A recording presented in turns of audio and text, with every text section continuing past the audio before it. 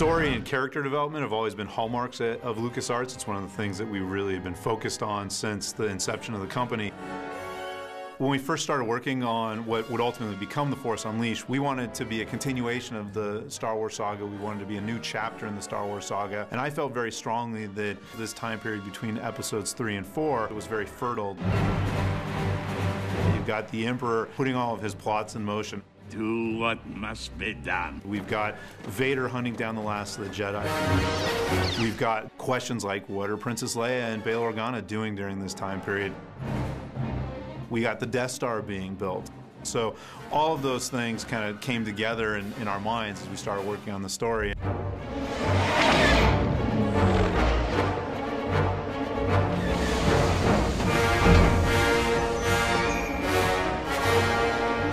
Think we all kind of recognize at some point that Vader has to be kind of the central focus of the story because you know George made Vader the central focus of the entire saga. We kind of wanted to open the game with a bang and, and really wanted to get people's attention, and we allow you to start the beginning of the game as Vader.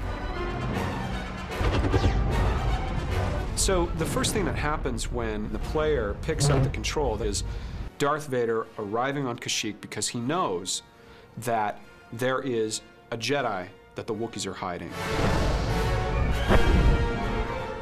The Jedi, of course, puts up quite a fight and is really one of the first unleashed opponents that you face in the game. Vader senses something's a little bit off. He senses that there's somebody more powerful nearby. And so Vader just picks up his saber and he just goes to make the final blow. And then suddenly the, the saber gets pulled out of Darth Vader's hand, which we've never seen happen before. And Vader, of course, whips around. He looks down and he sees this little boy. When that happens and you realize it's just this kid, uh, that's very powerful. Obviously, this child, who's the force is really, really strong with them, it stops you. You're like, what is going to happen?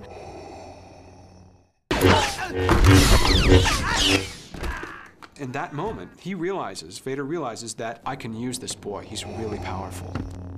Come with me. So we transition to the future, many, many years. Um, and this boy has now become Darth Vader's secret apprentice. Rise, my apprentice. And he's kind of doing these tests or trials for Vader. He's hunting Jedi and, and trying to prove himself to Vader. What is your will, my master? And so you playing Darth Vader's secret apprentice, that's where the, the story really takes off. The first mission that you undertake as Darth Vader's secret apprentice is to hunt down one of the last of the Jedi. He gets sent to a TIE fighter construction facility that's been taken over by a general named General Rahm Kota.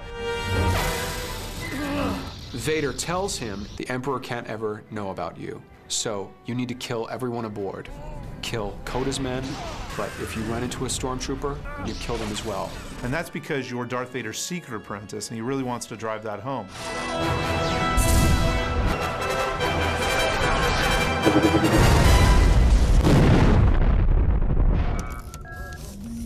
Proxy, give me the target. The crew aboard the Rogue Shadow is very reminiscent to uh, the original Star Wars A New Hope, where you had Luke and Leia and Han and Chewie and R2 and 3PO, and they were all aboard this Millennium Falcon. Well, in a similar way, the Rogue Shadow is kind of the, the dark side Sith version of that. But of course, that dark side energy isn't sustainable, that eventually this family sort of bonds together and there's a kinship that happens there. Am I going to see you again? Probably not, no. Obviously, this time period also includes the birth of the rebellion. This ragtag group of freedom fighters that will ultimately oppose the Emperor and Darth Vader in Episode 4. This scene is such an important part of the Star Wars canon. This is the start of the whole alliance, the whole changing of the guard, the whole, the whole shifting and rebellion.